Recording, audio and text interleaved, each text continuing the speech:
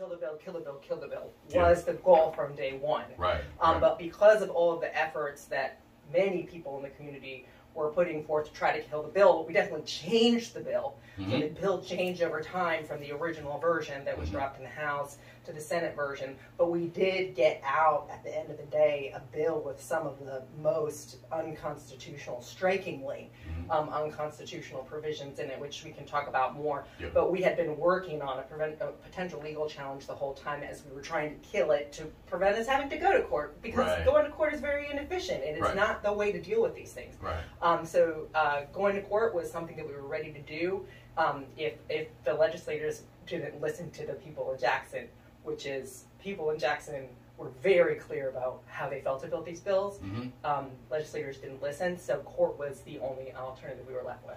So for those people who you know may not have been paying attention to the intricacies of this bill, you know there were several changes. Even when I had Senator Wiggins and Trey Lamar in here on the show, they even talked about some of the changes that were made uh, in the uh, Judi- Judiciary Committee. Um, and you guys were instrumental in, in helping to make those things happen. So talk a little bit about from the inception and the introduction of this bill, talk about some of the changes that you guys were able to actually see in the bill before uh, it reached Tate Reeves' desk. So one of the most one of the most shocking aspects of the original version of the bill that Trey Lamar dropped in, in House Bill 1020 was the creation of a triple sized um, CCID, which is complex um, capital complex improvement district. Yeah. Um, you know, I'll just just just zoom out. What is the CCID? So in 2017, it was created essentially, you know, a few blocks around the downtown area to um, uh, create um, uh, to focus on infrastructure, Infrastructure, improvement, right. like flower beds, pine straw. Yes, You know, yeah. put in. I think there were some segues. There was like, you know, this idea that let's put some of, you know, the the wealth that's in Jackson, put it into a little fund, and just kind of concentrate a little bit on Mhm. downtown. Um, what that ended up being was like really a tool for um, trying to like occupy, um, you know, through Trey Lamar's bill, a huge swath of Jackson that included 80% of all white people in Jackson. Mhm. So it um, scooped up this huge swath of Jackson and then tried to install an independent floating court system that was just state controlled. So judges appointed by our white chief justice, um, prosecutors appointed by our um, white attorney general Lynn Fitch, um, and then they were those courts were supposed to have jurisdiction over any lawsuit that the state was a defendant in. So if you wanted to sue the state for a bill or for um, uh, you know injury that happened to you, um, and you wanted to go to court, you couldn't go to Hinds County elected judges anymore. You had to go to state court appointed judges. Mhm. That part of it, that you have to go to the state court appointed judges to sue the state for violating your rights, Right. um, did get stripped out. Okay. So that was one of the most important things that got stripped out. Um, and also, um, we, you know, essentially took it from multiple CCID courts um, down to one, Yeah. um, which we maintain is still unconstitutional. So I would say um, we are suing about the same things about about certain similar similar things about harm and what's unconstitutional, but the version of it was kind of a, a huge monstrous like you know, multi-armed monster in the first version, Mhm. and we did get it s- slimmed down a little bit more. But um, there, there's still a very similar uh, constitutional harm. So the contention is, uh, and, and at crux uh, with this issue, the contention from those people who are in support of this bill, uh, they say that you know nothing is getting done about crime. At least this is something that we can look to as a solution, since there have not been any solutions. Why don't the people of Jackson want anything done about crime? Why don't black people want anything done about crime? Why are these people so in favor of lawlessness and criminality? Uh, if you are against crime in the city of Jackson, you should just, uh, you know, blindly go ahead and accept this bill and say this is what we need to do and this is our solution. So for those people that say, "Hey, I'd like to do something about crime in the city of Jackson," which is literally everybody in the city, explain to them why this is not the best solution to go about doing it. I think that um, Ann Saunders, who is the named plaintiffs in this lawsuit, Mhm. um, she lives in Jackson along with Dorothy Triplett and Sabreen Sharrief. Those are three Jackson re- residents who brought this suit. And something that um, um, Ann said is, it is deeply offensive to her, the idea that this is being done for her own good. Mhm. As as a black woman, she has, um, you know, been steeped in the the, the stories and the The history. the, uh, you're rolling out day to day life of like the civil rights movement in Mhm. Jackson, and for somebody to tell her that this is for your own good and this is for your safety, she says, "How is it safe for you to dilute the rights that people died to give me? How is it safe for you to take away my responsibility?" And my ability as a person with the wisdom and experience in this area, take it away from me to solve the problems in my community Mhm. and give it to you who live hours away and have nothing to do with my community. Um, also, creating a state appointed court system in violation of the state constitution is not related to safety. That's related to, to hijacking other people's voting rights. Mhm. It just, there is no rational relationship to safety. Um, similarly, appointing Hinds County judges, appointing four circuit court judges, which HB 1020 does, when we elect four, and when the state constitution says circuit court judges shall be elected, does not do anything to to promote safety. Right. It simply dilutes the voting rights and the, the power of people in Jackson to um, elect people to decide, um, um, you know, the rights ar- around property and life or death. Mhm. Circuit court judges can decide whether people live or die. That's the truth of it.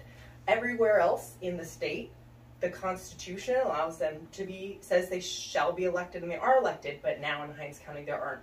Those things don't have anything to do with safety. There are people in the community, especially in the Jackson Undivided Coalition, organizations that have been working for years on issues of safety. And they go out, like People's Advocacy Institute, they go out into the community and pound the pavement. Jackson People's Assembly, come to the floor. Mhm. Tell us what the safety issues are in your community and what would help you feel more safe and what people I've been to many of these meetings, I've been going to many of these meetings, as I said, as a resident and both as an Mhm. advocate, Mhm. and people say, What makes you feel safe? Think of the last time you felt safe. What did it mean? Mhm. It means people having the resources that they otherwise would have had the state not been for decades Mhm. sabotaging the city. Right. So it's resources they are entitled to, not resources that anybody's asking for. Resources they're entitled to to invest in their communities according to the ways that people say they need it. People say they need, um, you know, the ability to have, you know, credit. There's a credible messenger program. Yes. You know, so Yes. people who have the experience being able to go out and do mentorship stuff. There's a violence interruption program. Is there an alternative for when there's going to be a violent conflict rather than calling the police? It's mental health resources. It's doing like, you know, offering people like housing like opportunities, Mhm. um, reentry opportunities. So these are solutions that people in the community have identified that they need to address violence. And the people who created 1020 never asked anybody, as far as we can tell, Right. what are the resources that you actually need? And nobody said a state-run court Mhm. that we have ever heard of. Mhm. And in fact, um, you know, during when they were defending this bill, none of the people, none of the legislators who were asked who suggested this solution, this proposed solution Mhm. um, to violence, nobody could articulate what data they relied on, what people they had spoken to that were from Mhm. Jackson. Mhm. So it seems very, um, that's the kind of evidence that courts and even and people, everyday people say, this looks really suspect to me that the Mhm. things you're saying you're doing, the reasons you say you're doing this Mhm. aren't the reasons that you're doing it. Right, right. So clearly, uh, you know, a majority of Jacksonians were not talked to. Uh, you know, even when I had, you know, Trey Lamar and, and Brice Wiggins on the show, you know, it, it was a clear, it was clear that there was a sample size that they used, uh, a control group that they used to talk to.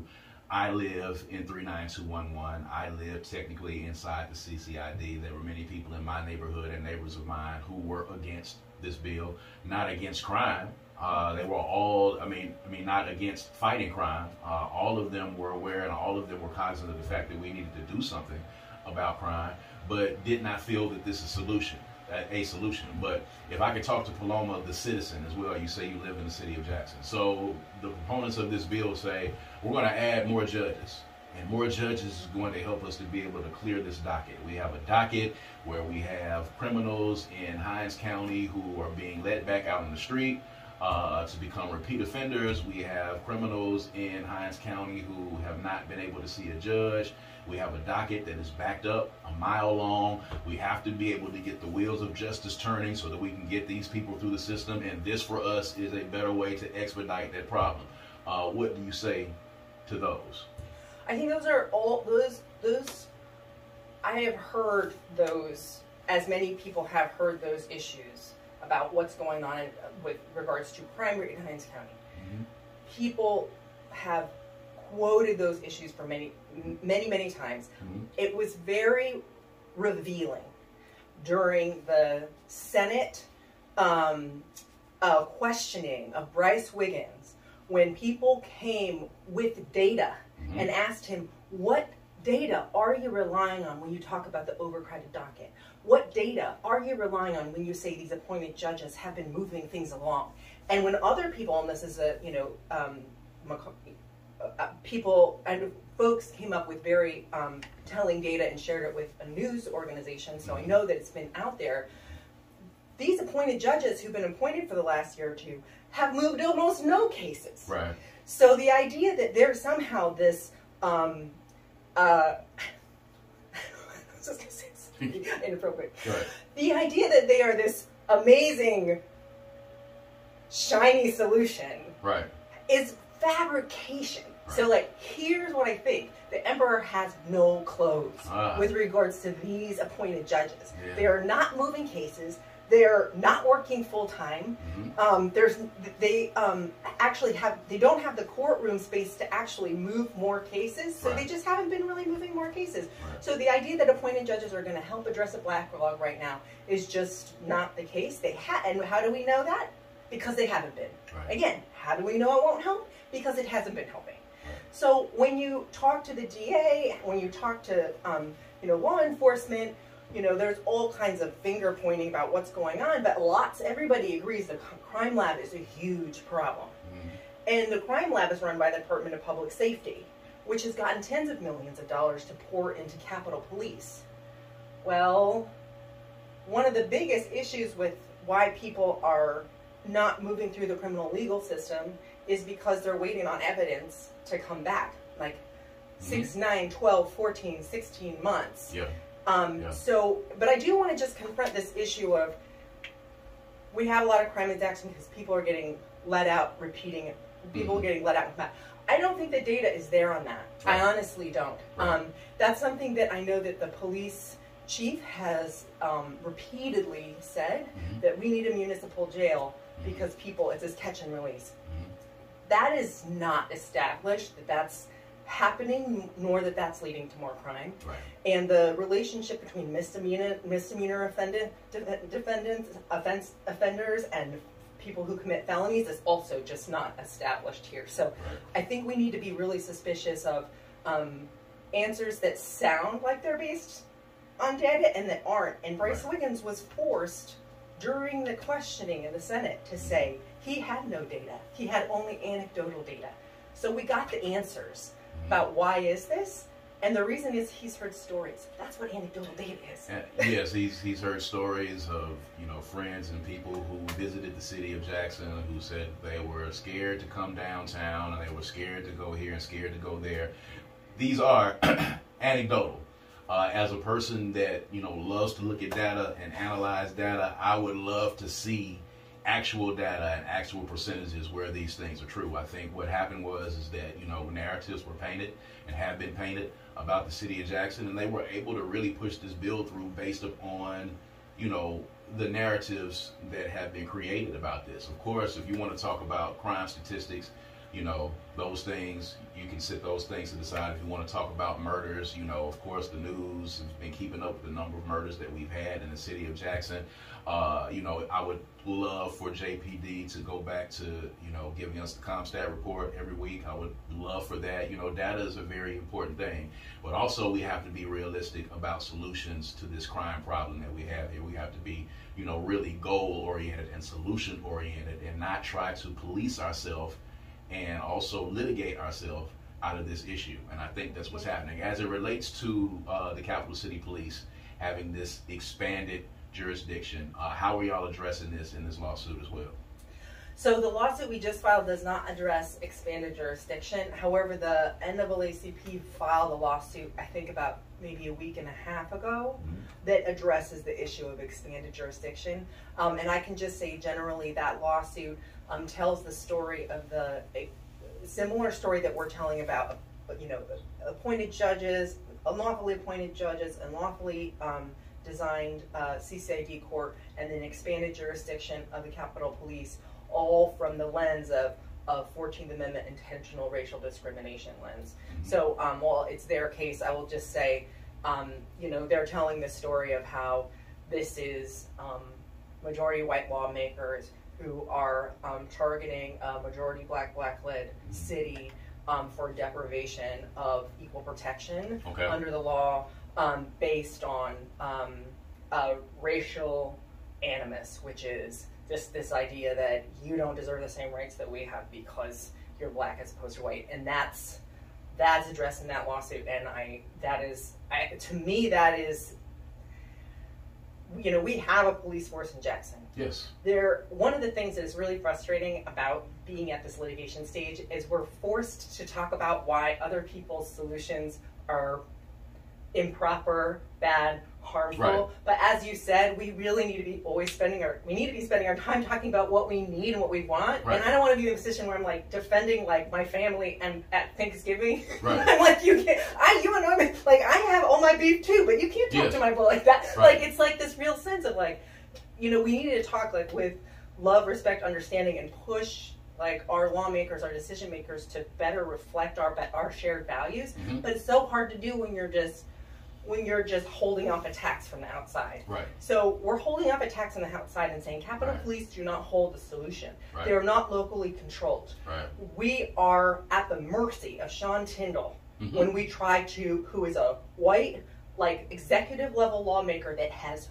no accountability to people in Jackson. Right. And now we have this highly militarized police force in the Capitol Police that where the way I have heard it said is with Capitol Police, nobody can hear you scream.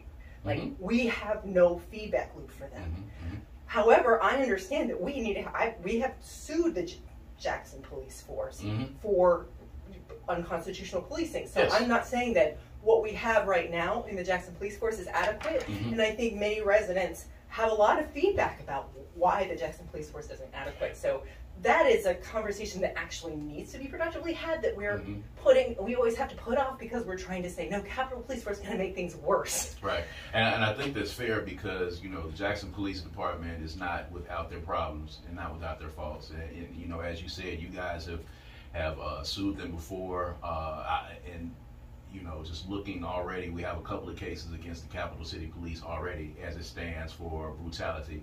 Uh, and what's not happening here is is there are no voices of the people on the ground in Jackson, Mississippi. This is basically saying that you guys are not smart enough uh-huh. to take care of yourselves, and you're not smart enough to figure out these problems and these solutions to crime on your own. Even though we know that the police force here is, you know, uh, you know, well below what it needs to be. It's, it's criminally understaffed almost. Uh, that's a solution. Uh, you know, there's a lot of things that need to be, you know, fixed to try to get this to where it needs to be. So, you know, when we're talking about litigation and we're talking about this this suit being filed, what are the steps? What are the processes for people that are listening right now that you know know that HB 1020 has been signed? You know what happens next, and you know does this hold up the bill? Does this prevent the bill from? I think I think in July it's supposed to take effect. Does this prevent this bill from taking place? You know how does this work? So um, we have filed, after we filed the lawsuit, a couple days later, we filed what's called a motion for a preliminary injunction. Preliminary injunction is asking the court to temporarily hold the law off from taking to effect until we can have the whole trial on whether or not it violates the, the Constitution, which can take a while. Mm-hmm. So then, at the end of that, we're asked we would ask for a permanent injunction, which strike the law down from ever taking effect. But we have a hearing, or at least a status conference. We have a a, a we have an appearance in court next week Okay. on our um, motion for a preliminary injunction. We may need to work out more things before we actually get that big hearing. We're going to see basically what happens, but we have asked for that to happen on an expedited basis. So we should know within the next like week or two what's going on with the motion for the preliminary injunction. Okay. And then uh, if this holds up, this particular bill, uh, what is what's the recourse uh, from there? If this bill gets held up, is there the possibility that they'll have to come back to the table to create something else? I mean, what happens if this bill is not in place, and or it's being held up, or if there's an injunction to permanently hold up, hold it up? You know, what do the people and the citizens of the city of Jackson and Hinds County, particularly, you know, what's our next course of action from? So right now, the lawsuit is in the Chancery Court.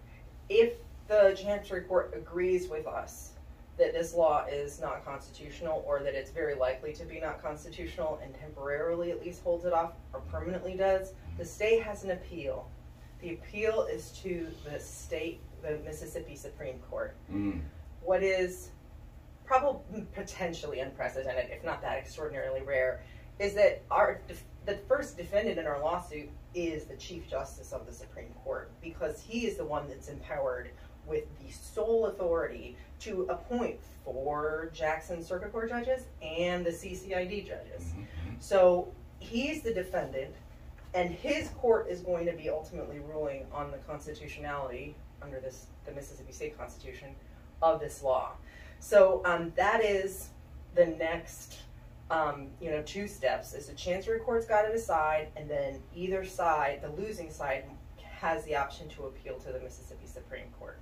So that's going to be a two-step process that's going to play out over the next couple months. Now, if I'm not mistaken, is there another lawsuit that has been filed uh, against House Bill 1020? Are you familiar with that? Yes. So the the the um, the NAACP has also filed a lawsuit, and that one also includes the expansion Okay. of the CCID, and that one is in federal court, and we'll actually um, uh, the Mississippi Center for Justice will actually be filing a federal lawsuit pretty soon on the First Amendment aspects. Um, the First Amendment problem was the 2343 because the um, legislature it, you, it was a provision that was in 1020. The legislature is saying you have to tell uh, Sean Tindell hmm or Bo Luckey, who's the chief of police, Mhm. anytime you want to have any event outside any Process property or anything on occupied. state yeah, property, yeah. yeah, under your state property, which is a violation of the First Amendment. Exactly.